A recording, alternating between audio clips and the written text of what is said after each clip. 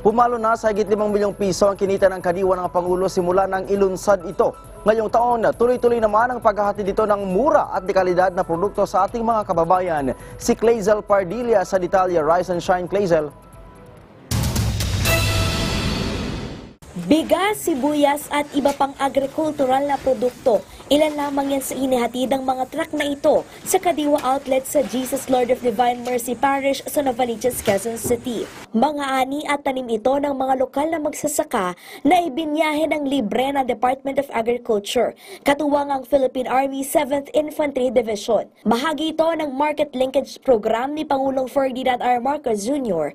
na layong ilapit sa mga consumer ang dekalidad at murang produkto habang tinutulungan ang mga magsasaka na ibenta ang kanilang ani. Aabot sa anin na raang sako ng bigas, nasa 75 kilo ng sibuyas at 800 kilo ng mga kamatis ang napadala sa simbahan. Nitong Marso lang, halos 4,000 kilo ng sibuyas naman ang naibenta sa Kadiwa stores sa iba't ibang parokya sa lungsod.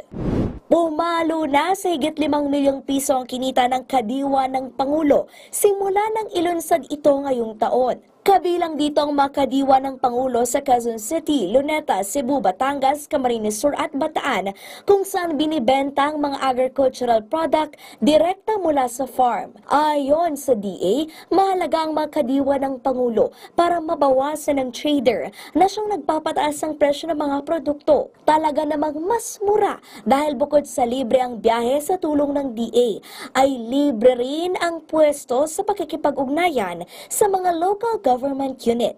Kalay Zalpardilia para sa Morning Show ng Bayan, Rise and Shine Pilipinas.